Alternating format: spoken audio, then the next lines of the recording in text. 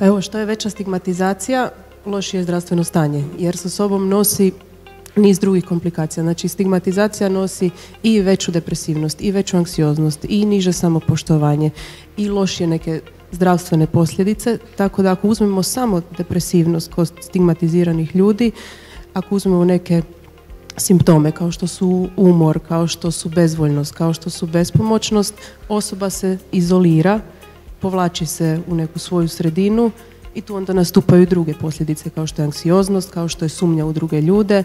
Čim se uspori fizička aktivnost, čim se osoba povuče, nastupa i veći utjecaj boli, znači tu se bol koja je u lokomotornom sustavu, osoba se i manje kreće. Znači to je koji jedan začarani krug. Znači ta stigmatizacija koja je u biti percepcija i doživljaj negativnih, negativnih aspekata prema osobama koje su pretile, prema osobama koje su debele, to je u biti onaj dio koliko mi takve ljude procjenjujemo ljenima, koliko smatramo da je to njihova zasluga, koliko jedu kao možeš manje jest. Znači čim imamo takav oblik nekih stavova, a znamo kako je naše društvo i koliko se vrednuje neka slika tijela, osoba čim više to doživljava, ona pada u lošije zdravstveno stanje.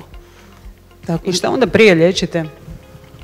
Pa biti upravo je taj psihološki aspekt bitan. Znači ako želimo e, da osoba ima zdrav zdravo tijelo, to je tjelesno da bude zdrava, moramo obuhvatiti aspekte psihološke kao što su i kognicija, kao što su i neka socijalni život.